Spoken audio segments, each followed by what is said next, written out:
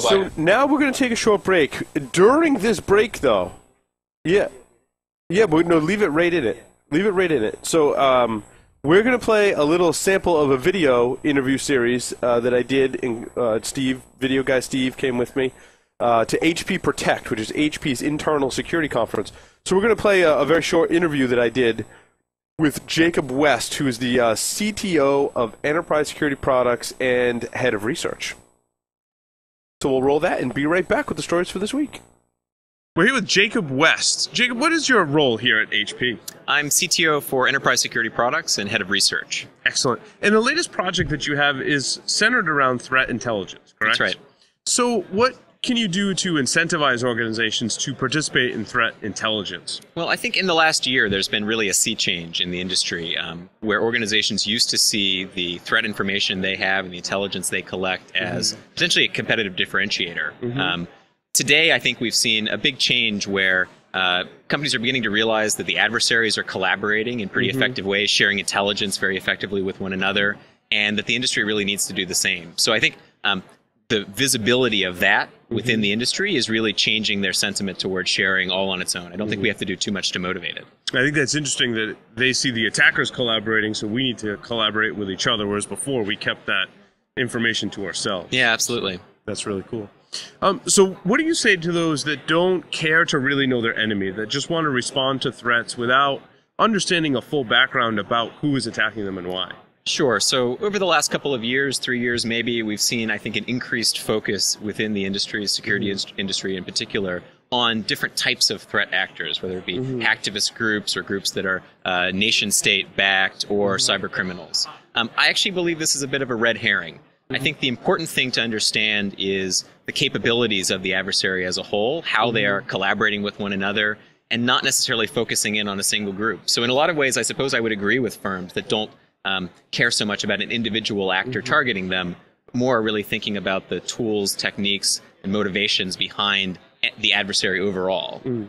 How does that change your uh, the way you would respond to? So, like, if you had more intelligence about a particular group or other group, would that change the way you respond, or not so much? Well, so there are certain um, companies, and in particular, certain industry segments like mm-hmm. media or finance that are targeted in very particular ways. So mm-hmm. we see organized crime, cyber criminals going after financial services organizations yeah, a lot. Yeah. There was a big heist uh, back earlier in the year where one group took $45 million in cash from ATMs in Manhattan in a single day. Mm-hmm. And, uh, you know, in this case, it's worth understanding that you are being targeted very specifically by certain groups. Yes. Yeah, I agree. That's awesome.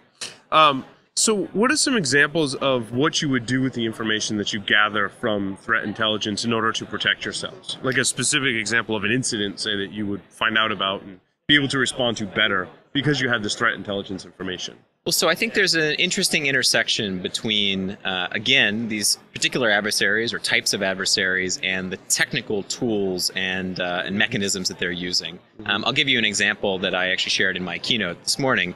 Um, you might see some potentially malicious activity that uh, looks like malware, but existing AV solutions aren't capable of uh, identifying it. Mm-hmm. Um, we know today that adversaries are repackaging malware so that they can't be easily identified, but they still have the same core components underneath. They still have the mm-hmm. same basic capabilities. Um, understanding that a particular adversary is targeting you and that they've used a particular type of malware or a particular technique for exploiting organizations in the past mm-hmm. could be a great way to connect the dots to take two sort of incomplete pictures. Mm-hmm. One, this malicious activity that you don't quite understand the origin of, and two, this actor that you know about their behavior, but you don't know that they're particularly the ones attacking you today. Mm-hmm. Say, ah, this technical bit that I'm seeing, this evidence of an attack, looks like the kind of behavior that a particular adversary may have used in the past. Mm-hmm. And that mm-hmm. could help you fill in what's really yeah, happening really to you at the moment. The story. Yeah, Absolutely. exactly right. I totally agree. Jacob, thank you very much. Thank you very much. Great to be here. I'm back with Jacob West to talk about HP Threat Central. Jacob, what is Threat Central? So, Threat Central is a community sourced security intelligence platform. And the idea is to really help organizations share threat intelligence and mitigations with one another in close to real time. Mm-hmm. Um, this differs from current security and threat intelligence sharing in that it's less manual, it's more automatic. It shares intelligence that is contextual to your organization. So rather than just a view of what's going on in the world, we help you see what's really uh, affecting your business. And it's built around open standards, so anybody can participate. So, how do you protect the individual company's information that may be shared within the Threat Central uh, community? So um, we have two models for how we think Threat Central will work. One is we host a community in the HP cloud, which is secured by both experts from my research team at HP Security Research, as well as the global cybersecurity team at HP. Um, obviously, using uh, best practices, uh, best best of breed security solutions from across the industry. Um, the other model that we think will perhaps even be more valuable to the industry is we're very good at developing software systems and the platform, but we don't have to operate all of those communities. And so we actually want to make the Threat Central platform available to our customers so they can run private communities of their own within a given geography or within a given industry segment. Um, and so we think that way uh, we won't be collecting all of the secrets for the entire world in one Right. place, and we can Right. let smaller groups um, apply their own security standards, really.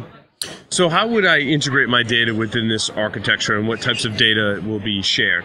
Yeah, so what we announced today is uh, an early access community. This will be productized sometime next year, probably. Um, initially, we're connecting ArcSight ESM instances with a central uh, server that we manage, and they're able to either automatically or with as much kind of manual control as they want, share any kind of security event, threat event that is visible in their ArcSight instance. So this can range from malware activity to other kinds of attacks. Anything that you would see in a SIEM product really uh, could be shared. Right. And this is the neighborly thing to do, right? I mean, we're doing this in order to gain enough intelligence to improve our defenses, right? Because I can see some apprehension, but at the same time, I'm thinking, well, this community is great. We really need to help people embrace it. Yeah, absolutely. So, um, you know, as you've heard a couple of times at the conference now, the adversaries are collaborating really effectively with each other. And I think in the last year or two, the industry has come around to see that we need to start to do the same thing. Um, the great thing about the Threat Central model is that it's built around uh, a very policy driven sharing mechanism. And You so control what you share. organizations control very um, precisely and at a very fine level of granularity what they share, and they're able to anonymize those data pretty heavily. So they're really sharing information about who's attacking them and how, not about their internal systems or what's being attacked. Do you have provisions to make sure that the information is not released publicly that shouldn't be? I know in some of these collaborative efforts in the past, they've had a problem where someone re- reveals or discovers that this particular piece of malware is being used by these bad guys, and if that leaks out, all of a sudden the bad guys go away and they scurry away. So, do you have some like procedural things to help organizations control the information? So again, you know, there there are sharing efforts underway already. Groups like mm-hmm. FS and IT, ISAC already mm-hmm. encourage firms within those given segments, financial services and IT, to Yep. share with one another. Right. Um, and that's been pretty effective in some ways, although it is mm-hmm. incredibly manual still. Mm. The thing that really concerns me about those approaches is it relies on a given analyst in a given SOC to make the right choice at the right time about what to share. Mm-hmm. And that's literally a question of copying and pasting, exporting from a SIEM product Right. into an email that goes out to a mailing list. Mm-hmm. The cool thing about the automation in Threat Central mm-hmm. is you can define a policy around what's shared and how and with whom. Then you can use that policy to enforce those rules in an automatic way. And you can come back afterwards and audit what has been shared and where it's gone. And so I think that level of control isn't only going to make it easier to share things, but it's going to make it much safer to share because you can really mm. see, again, what's being shared and audit that after the fact. Fantastic. Thanks, Jacob. Thanks a lot. It's great to be here.